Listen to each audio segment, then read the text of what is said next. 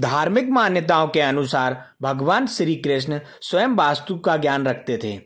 युधिष्ठिर के राज अभिषेक के समय श्री कृष्ण ने उन्हें राज्य और घर की सुख समृद्धि के लिए वास्तु के उपाय बताए थे।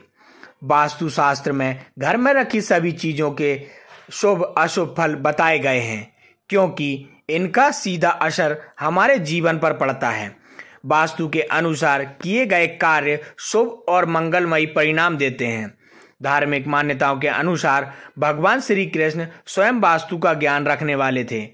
युधिष्ठिर के राज अभिषेक के समय श्री कृष्ण ने उन्हें घर, राज्य और सभी जगह सुख समृद्धि के लिए वास्तु के उपाय बताए थे।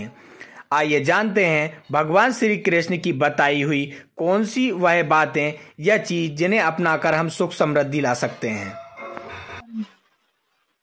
वास्तु का अगर हम चिंतन करें तो भगवान श्री कृष्ण ने युधिष्ठिर को वास्तु के विषय में बताया, यह तो निश्चित ही सत्य है, पर वास्तु देवता का चिंतन आदि शतयुग से चला आ रहा है। शतयुग त्रेता द्वापर कलिकाल में सदैव, जैसे प्रत्यक्ष नारायण सूर्य नारायण देवता हैं, जो हमें नित्य दर्शन प्रदान करते हैं। ऐसे ही हम भूमि पर आप और मैं अभी बैठे हैं माँ आश्रम में, है ना? इस आश्रम का अपना एक वास्तु है। तो जहाँ भूमि है, वहाँ साक्षात वास्तु देवता विद्यमान है। शुक्ल में वास्तु को की महिमा भी गाई है। वास्तुस्पते प्रतिजान यस्वान स्वावेशो अनमेवो भवान यत्वे महे प्रतितन्नो जुगस्व सन्नो भवद्दिपदे संचतुपदे अनेकानेक पुराणों में वास्तु की महिमा गाई है कि वास्तुदेव नमस्ते स्तु भूषैया घृत प्रभु मद ग्रहे धन धान्यादि समृद्धि कुरु और ये बिल्कुल निश्चित सत्य है कि जहाँ वास्तु की कृपा हो जाती है, वहाँ वहाँ ग्रह भी अपने आप अनुकूल हो जाते हैं। वास्तु पर चिंतन किया जाए, बिल्कुल सहज, सरल सरल सा चिंतन तो हमको सदैव अपने ग्रह में पूर्व और उत्तर दिशा को थोड़ा खाली और स्वच्छ, साफ़ रखना चाहिए, है ना? अग्नि कोण में हमारा रसोई घर होना चाहिए, जहाँ पर प्रसादी निर्मित हो, भगवान को भोग लगे, गृहस्थ से पाए।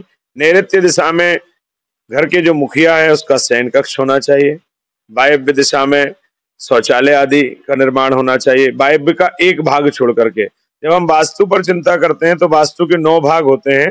तो उत्तर वायव्य और वायव्य पश्चिम में एक भाग छोड़ करके फिर शौचालय आदि का निर्माण करें। उत्तर में देखिए, भगवती माँ लक्ष्मी के जो सचिव हैं, वह कुबेर है, उनका स्थान है। कुबेर के जो सचिव हैं, भल्लाट, उनका स्थान है। भल्लाट के जो सचिव हैं, मुख्य, उनका स्थान है। तो सदैव उत्तर दिशा हमारी शुद्ध रहनी चाहिए सुचिता पूर्ण रहनी चाहिए, स्वच्छ रहनी चाहिए और खुली खुली होनी चाहिए। अत्यधिक हमारे दरवाजे, खिड़कियाँ जो है वो उत्तर दिशा में होनी चाहिए। उत्तर से हम चलते हैं ईशान में। तो ईशान तो वास्तु देवता का मुख है। तो महाराज, ईशान दिशा में सदैव भगवान का अर्चन हो, पूजन हो, वह दिशा सबसे ज़्यादा साफ़ रहे।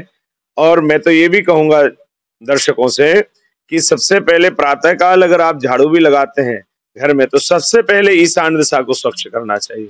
ईशान दिशा में झाड़ू लगाना चाहिए, ईशान दिशा में पोछा लगाना चाहिए। ईशान दिशा में कभी भी किन्हीं भी परिस्थितियों में जीने का निर्माण नहीं करना चाहिए। ईशान दिशा में कभी भी शौचालय का निर्माण नहीं करना चाहिए। ईशान दिशा में कभी भी कोई भारी वस्तु नहीं रखना चाहिए।